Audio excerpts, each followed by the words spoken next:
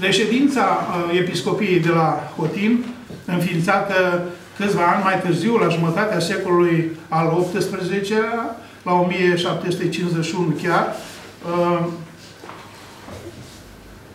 a avut întâi un episcop neînsemnat, Antim, vreme de vreo câțiva ani, mitropolitul Proilabil, de care aparținea episcopia de Hotin,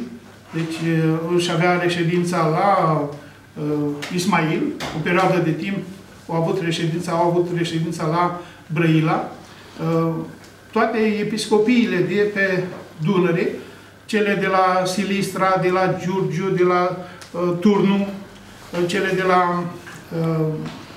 Ismail, de la Cetatea Albă și de la Fotin, de la Tighina, deci acolo era Raia, Benderu, uh, și toată uh,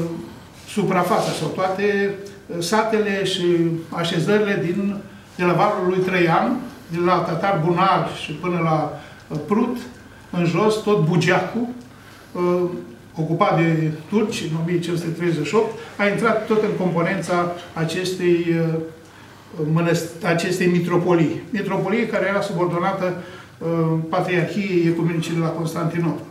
Deci toate aceste localități, aceste așezări au fost retrase de la Episcopia de Rădăuț, de la Episcopia de Iași, de Huș, care avea sate și în partea cealaltă a Mistrului. În 1755 s-a hotărât înființarea Hotinului, a Episcopiei de Hotin, iar Daniel mitropolitul Proilavilei, Proilaviei, duc am prost cu dicția, a cerut arhiepiscopului Zosim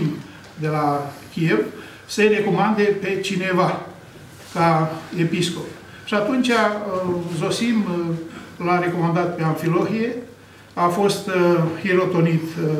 în prezența a trei mitropoliți și a reușit să facă niște lucruri deosebite acolo. Deci reședința o avea la Biserica Sfântul Nicolae, unde a fost botezată doamna Cernov,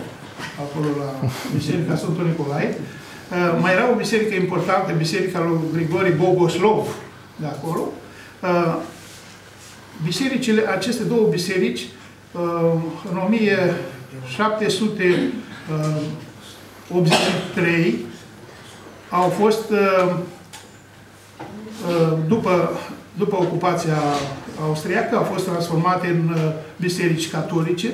iar școala înființată cu 300 de elevi, înființată de episcopul Amfilohii Hotiniul, care avea un dascăl de seamă, un dascăl cu numele de Ilie de la Putna. Uh, de ce am să rog pe domnul profesor Ilie, dascălul de data asta, să uh, citească scrisoarea, este emoționantă, extraordinară, a lui Amfilohii Hotimiu din 10 ianuarie